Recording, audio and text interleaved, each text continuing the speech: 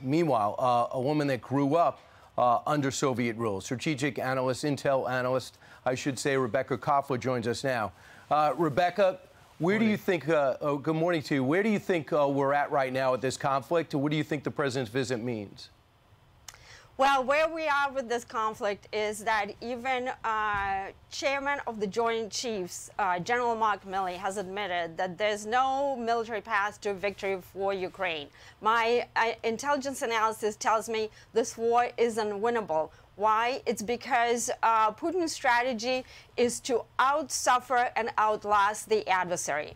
Uh, Putin has assembled half a million of new recruits, 315 uh, joining the fight right now, 150 in training camps. Okay, as you just said, uh, Brian, this is typical Putin, typical Russia, just throwing bodies into the meat grinder. Putin also knows that there's fatigue right now in the United States and in the West because the taxpayer is realizing that they've been um, uh, being sucked dry, you know, with 196 billion, as Lisa pointed out, and they just can't continue forever. And so this oop-de-doo strategy that uh, President Biden just pulled off with his visit is not going to stop Putin. Putin is not afraid. He has a plan. I described this plan in my book, Putin's Playbook, uh, which uh, you have.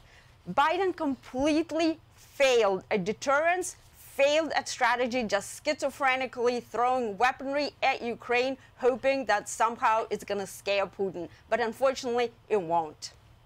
Yeah, you know, Rebekah, to your point, I think a lot of Americans, you know, want to know what does winning look like according to Zelensky? How much money is that going to take, and how much human suffering has to happen to achieve that goal? Here's what Zelensky stated repeatedly uh, what victory looks like to him. It's evicting uh, the Russians from the entire territory of Ukraine. But is that feasible? It's absolutely not because the Russians are entrenched, especially in Crimea. It's an existential uh, outcome of this war for Putin and for Russia. Um, and so it's just not feasible. And so somebody needs to realize that the strategy of just throwing weaponry is not going to work. Weaponry and technology do not win wars. Strategy does. And unfortunately, right. despite 10 years worth of signposts and every single piece of intelligence that we had back in the intelligence community, we had scores of wargaming predicting and going through this conflict and how it's going to unravel, right? And how it's going to unravel, it's, it's going to ratchet up if tensions are escalate, it's going to ratchet up all right. the way to a cyber Armageddon or a nuclear Armageddon.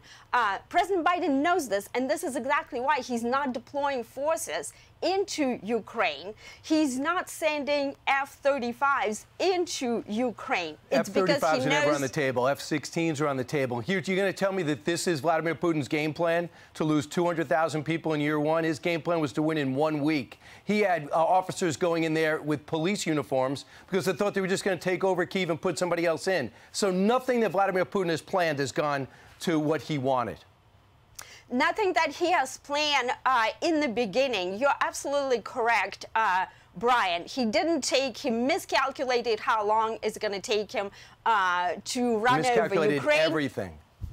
It, well, not everything, not everything, because again, Putin is planning for a relentless, draining war of attrition, right. throwing people into the meat grinder. Yes, they've lost 200,000 men.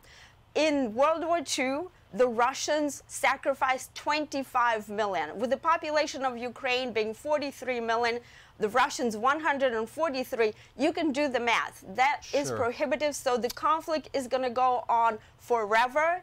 And as long as it goes on, Putin achieves his goal. His definition of victory is very different from ours. Right. It's preventing us and Ukraine from victory. And it's the devastation of Ukraine. Right. Ukraine right now is being decimated. Its industrial base is destroyed. Its agricultural base is destroyed. It's ceasing to exist as a viable country because we are providing its entire gross domestic product, 196 billion. 200 uh, billion was 2020 war uh, one GDP for them. They're entirely dependent right. on us. And right now, the Pentagon is already telegraphing to Ukraine that this is unsustainable because we're doing our own review uh, because our own weapon stockpile is depleting. Yep. Some of these uh, weaponry is going to take 7 to 18 years to replace. Ukrainians are having extremely high burn rate of ammo 5,000 rounds a day. So our production capacity is simply outmatched. Again, mm-hmm. this conflict reveals the Pentagon's inability to plan for anything right? So right now, when China is actually looming, this is what I'm predicting right now. I see the writing on the wall, just like what I predicted with Russia, right? China is gearing up for war, right? Xi Jinping has installed a wartime cabinet back in October.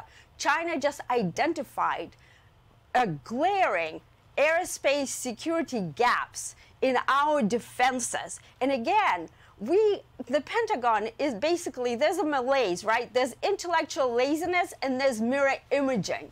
We, we think that everybody fights like Americans, everybody thinks like Americans. The adversaries spend decades on figuring out our vulnerabilities. Okay. We're vulnerable in our cyber, uh, we're vulnerable in our space, and so we need to sit down and really think about how to go about these wars, how to prevent sure. them before Rebekah? Yes. Can I yes, ask you sir. a question? You're, you're talking a little bit, and, and anybody who's just getting up, uh, Joe Biden is in Ukraine uh, this morning, this afternoon there. Um, you, you're talking about China may get involved militarily to assist Russia. Uh, and as we move into the second year of this war, what does that look like if suddenly China's feeding Russia stuff they need to blow us up? Exactly, uh, Steve. They already have China is providing uh, drones to Russia that Russia has been using to try uh, to target Ukraine. As you remember, prior to February 24 last year, Xi Jinping and Putin met and they struck the so-called no limits partnership. Right? They're not true partners in um, in the true sense. They're more of adversaries, but they're a marriage of convenience because they're both uh, hell bent on challenging the United States. Mm-hmm. So they're about to start providing. My intelligence analysis tells me lethal weaponry, and so the major thing, the major threat that we should now be concerned about, instead of hyper focusing on this conflict, which you know the Pentagon typically does, fighting the last war, we need to focus on the big picture. So here's the biggest threat: is if Russia and China challenge us in a two-theater war, right. we're going to have a really hard time prevailing. Sure. Because as, as, I said, we're depleting our own weapons supply. Military analysts are right now estimating that we're going to run out of weaponry in about one to two weeks if China invades Taiwan. Right.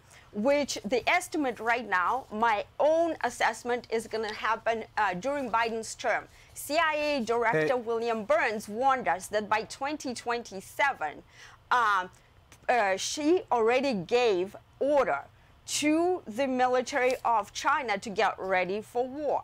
Xi directly said every energy needs to be put in for that war. So two theater war is something that I anticipate. Re Rebekah, what message does it send to China if we allow Russia to absorb Ukraine and don't do anything? So what what China the lesson that China is learning right now, uh, Brian, no, is but that just answer my question. if we sure. just said, okay, take Ukraine, uh, that's too bad. Zelensky, yes. you want you want a uh, vacation home in the Caribbean? Why don't you go ahead and uh, take that? Uh, what do you what? How soon do you think China would have taken Taiwan already? China would have would have taken it very quickly. Exactly. So I don't you, believe you have to anybody perform. You have advocates. To, so you, are talking generally. Mm-hmm. You have to talk in the real world. In the real world, Russia. Oh, I'm talking in the and, real world, but, but Russia invaded Ukraine. Either we help Ukraine or we allow it to be taken over and understand the ripple effect will be goodbye Moldova, which is already happening, goodbye, uh, goodbye Georgia, which is already they lost about two provinces, and then go go ahead and start mounting troops on Poland unless they flip governments, and they've already started to infiltrate into the Baltic nations. At one point, we're going to be fighting over there. So either Brian. you back Ukraine to fight, or you just give the Eastern Europe uh, back to Russia, and that really doesn't go well.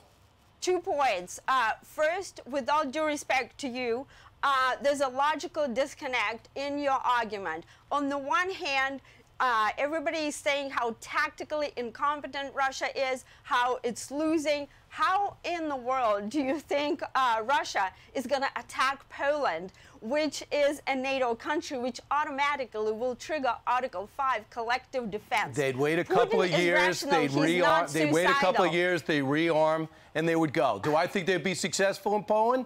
They would just grind it out again by your theory.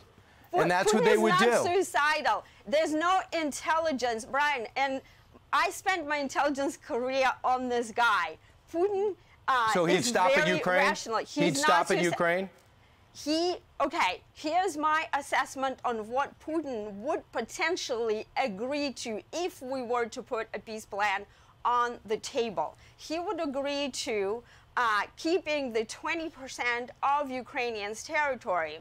Uh, Kherson, Zaporizhia, Donetsk, and Luhansk, which is pretty much the Donbass region, is the industrial uh, base, plus Crimea. Right. So if we were to ever recognize, so which give we up won't, the country. we give won't. up. The, give, yeah. Rebekah- Not the country, uh, twenty The, percent. uh, the most the most industrious part of the country. Just give it up. Exactly. So we should And just I'm give Texas to Mexico, this. and But don't you know they if they want it, the yeah. parts of the uh, Donbass region It's and then been, also it's Crimea been, as it- well? it, was a contested, yeah, it was a contested since region. 2014. But the Crimea region is more of a uh, vacation spot. That's debatable. It never should have allowed it to be Okay. taken. Having said that, but to give up 25% of the country because they want it and think it's going to stop there is crazy. Well, I'm not Well, advocating we got that to we we gotta it- go. I'm just telling Rebekah, you I'm the just reality. telling you. Thank you for joining us. Rebekah, Of very, course. Thank very you for insightful. having me. Thank you so much. Appreciate it. I'm Steve Doocy. I'm Brian Kilmeade. And I'm Ainsley Earhardt. And click here to subscribe to the Fox News YouTube page to catch our hottest interviews and most compelling analysis.